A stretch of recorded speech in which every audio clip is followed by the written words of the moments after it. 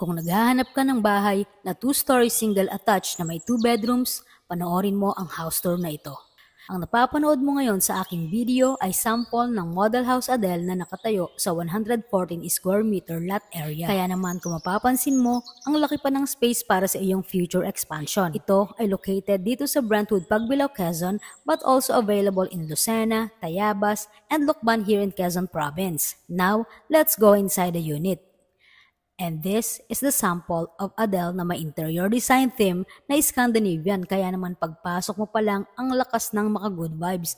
And it has a floor area of 69 square meter. Adjacent to the kitchen ay ang dining area. At ito naman ang toilet and bathroom na designed for relaxation featuring contemporary fixtures and soothing colors. Ang model house Adele nga pala ang isa sa pinaka-affordable two-story single attached na pwede kong i-offer sa'yo sa mga location na nabanggit ko kanina.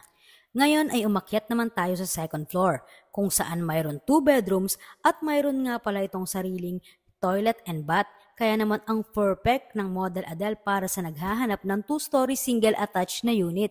Now, this is the bedroom 1 at mayroon na din itong provision for window type aircon, same as bedroom 2 at ito ang master's bedroom at pwedeng pwede ka ditong maglagay ng queen size na bed. Meron din itong malapad na bintana dito sa may hagdan na nagbibigay ng natural light sa buong kabahayan. At ito ang kabuuan ng aking house tour para sa Model Adele.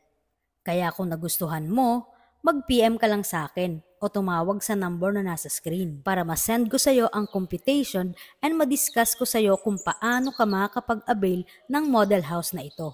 Ako nga pala si Avery Nonos na mag-aasist sa'yo para matupad ang pangarap mong bahay dito sa Calmar Land. Thank you for watching my vlog.